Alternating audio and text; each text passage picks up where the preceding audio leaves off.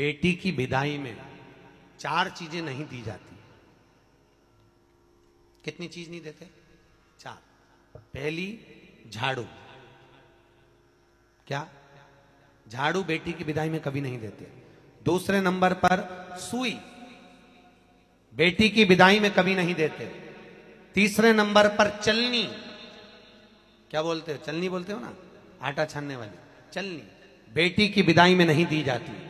चौथे नंबर पर अचार की बरनी बेटी की विदाई में नहीं दी जाती। बेटी की विदाई में अचार नहीं दिया जाता। खट्टा और तीखा बेटी के, और जिस घर में मायके से बेटी की विदाई में अचार दिया जाता है, उस घर में बेटी कभी सुखी नहीं रह सकती, लिख के रख ले। उसको कुछ ना कुछ तकलीफ़ रहेगी। कभी सास, कभी ननन, कभी पति, कभी कोई कभी कोई उसको ताने देता ही रहेगा।